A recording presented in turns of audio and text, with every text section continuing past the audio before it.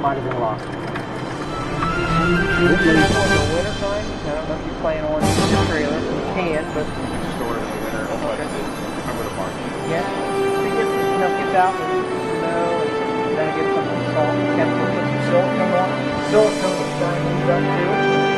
Right here, but silicone comes in. If you look there on the inside, man, you got lots of storage in there. Got your light. Just like you would your car. Uh, I don't drink a lot of water, but when they're Is this big? LP regulator, very simple. It's an automatic switch over from, tank to tank. So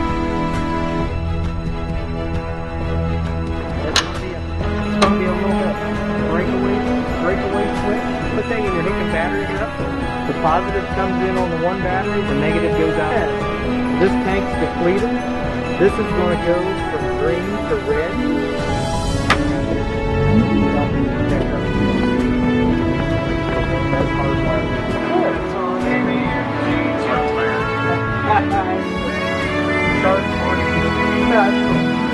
It's got sense me channels.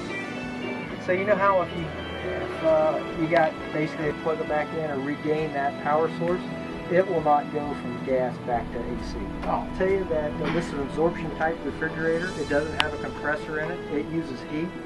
It's going to tow a lot better. It's going to settle down.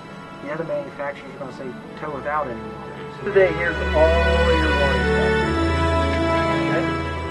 the windows open up when we get around on the other side. Very nice. Have a need to jack up the trailer. You don't want you jacking up on your axles. If you look right underneath here, Jason, there's going to be a little jack label. There's going to be a jack label, and then there's going to be a three by three aluminum block or aluminum. Oddly enough, um, this is the this is the drain for the T device right up here.